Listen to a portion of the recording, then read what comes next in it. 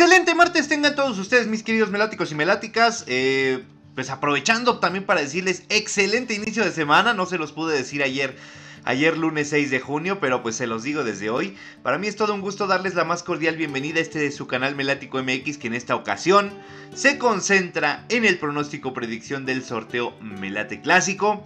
Y es que es que nos hemos dado a la tarea de hacer algunos cambios porque, como ustedes pueden darse cuenta, los resultados que están apareciendo son muy raros.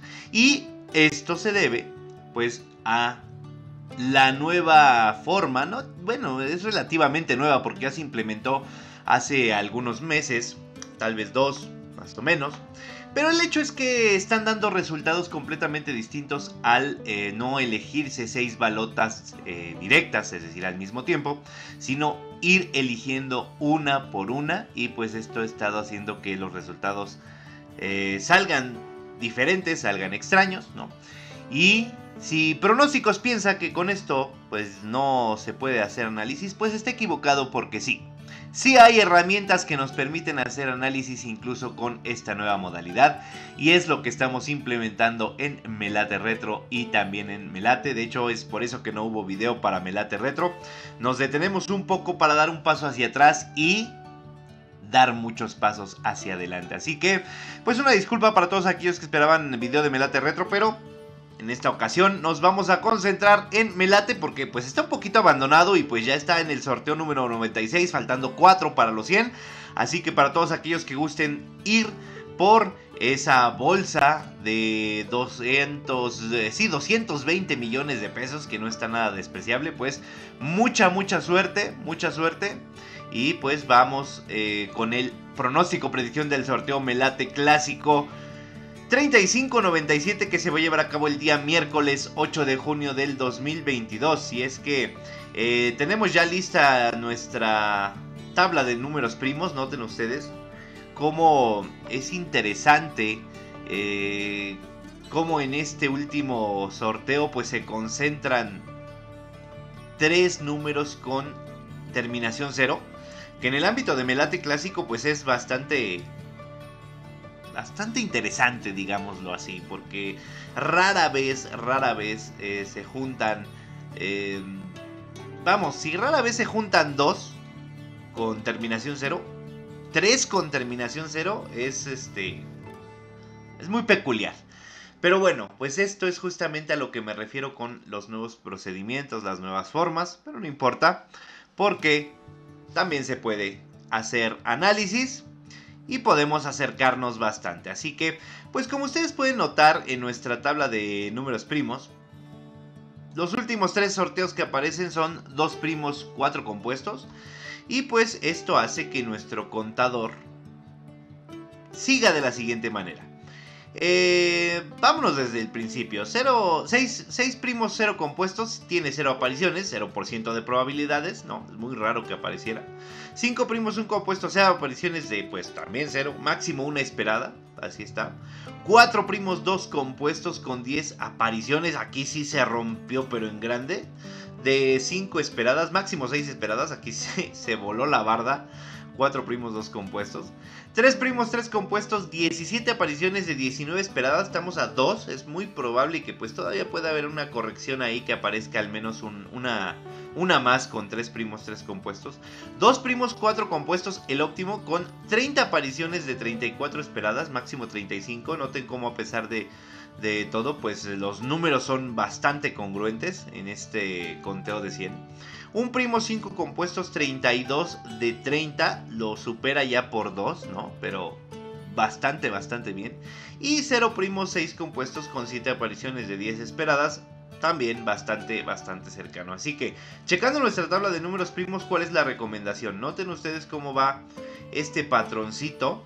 Este patroncito de, de aparición.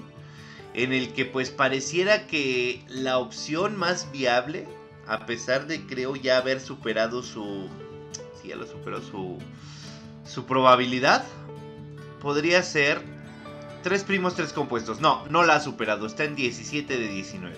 Es decir, eh, checando esto, y ahorita lo van a ver en la tabla de números combinables, la combinación que pudiera tener más opciones es 3 primos, 3 compuestos. Obviamente por su lapso de no aparición de 4 sorteos. Le seguiría un primo 5 compuestos, que es la que creo que sí ya completó. Sí, es, la, de la que hablábamos, sí. 32 apariciones de 30.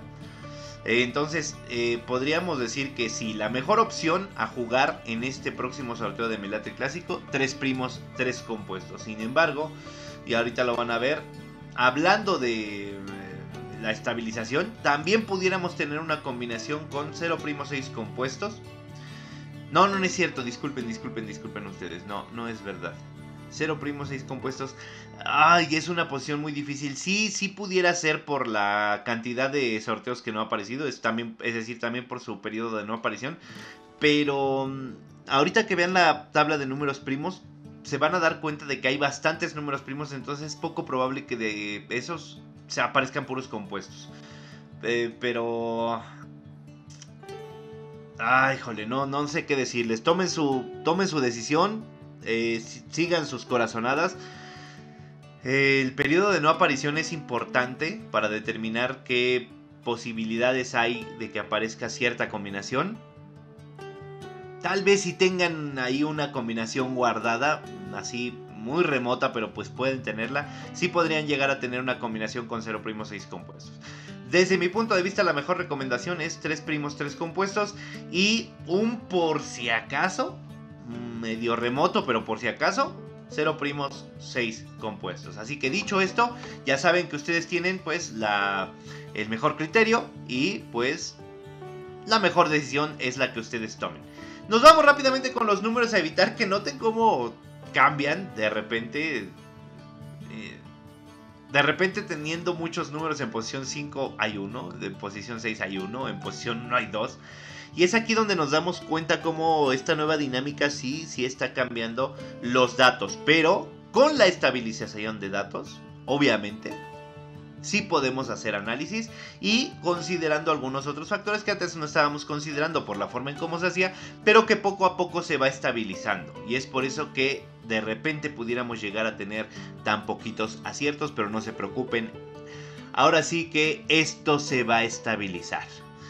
Y pues dicho esto, decimos que en posición número 1, los números a evitar por eh, cumplimiento de ley del tercio son 1 y 2. En posición 2, 23, 2, 35, 13, 11, 7, 6 y 18. En posición 3, 34, 36, 32, 29, 18 y 22.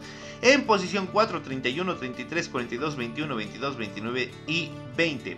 En posición 5, el 40 y en posición número 6 únicamente el 50.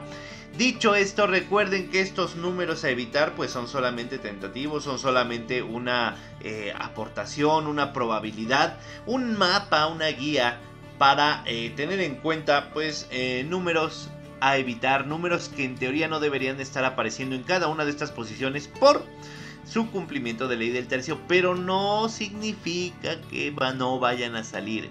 Recuerden ustedes que esto es una herramienta, no es la ley. La ley del tercio, bueno, tiene sus aplicaciones, pero aquí, aquí, aquí, estos números no significa que no vayan a salir para nada.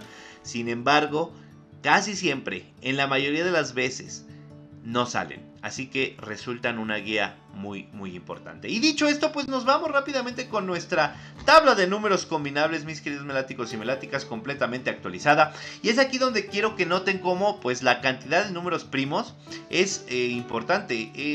decimos que en 56 números, pues hay, eh, me parece que 17 números primos. Tomando en cuenta el 1, ¿eh? recuerden que en este canal se toma en cuenta el 1 y punto.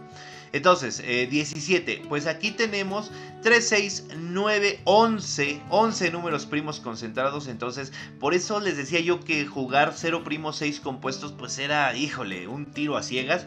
Así que yo me iría más por 3 primos 3 compuestos. Recuerden que los números primos están marcados con color verde. Y los números eh, compuestos, pues son los de fondo blanco. Y de aquí tendrán que... Eh, determinar si juegan con uno, dos o tres primos y con cuatro, cinco o seis compuestos, eh, si es que se van por la recomendación tradicional, por la recomendación ortodoxa de concentrar sus jugadas ganadoras en, eh, pues eh, ya saben, el sector ganador.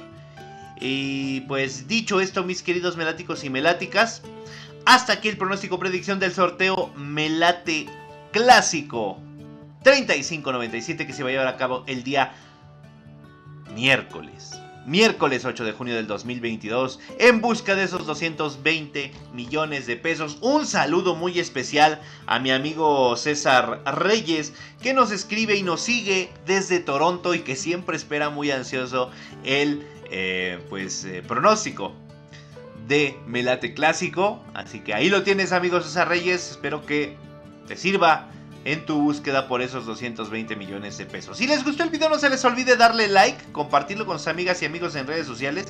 Y eh, pues si gustan formar parte de esta hermosa, cálida y maravillosa comunidad, pueden hacerlo y dejar su like y dejar su comentario. Ya somos más de 7000 suscriptores y esto no se hubiera logrado si no es gracias a ustedes. Así que muchísimas gracias por todo su apoyo. Seguimos trabajando, seguimos en esa ruta de convertirnos en el mejor canal de predicción. Así que pues eh, no se desanimen, no se desesperen, seguimos, seguimos adelante. Por mi parte es todo, recuerden que yo siempre les voy a estar deseando mucho éxito, suerte y fortuna. Y nos vemos muy pronto con más análisis y predicción de sus sorteos favoritos de pronósticos. Cuídense mucho, que estén muy bien y como siempre les digo, hasta luego.